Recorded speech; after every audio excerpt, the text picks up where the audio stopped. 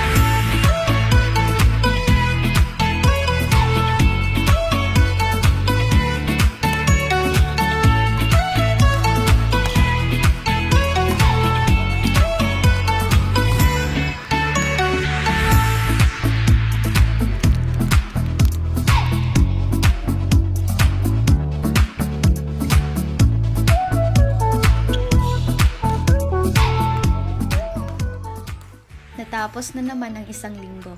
Nag-aral, nagmemorya, nagpuyat, umiyak at napagod. Hindi ko man alam kung anong pinagdaanan mo sa linggong ito, pero sana nagpahinga ka. Kagaya ko, ginawa kong pangtanggal pagod ang maglaro. Normal lang ang lahat ng napagdaanan natin, pero sana huwag tayong sumuko. Gawin mo rin yung mga bagay na makakapagtanggal ng pagod mo.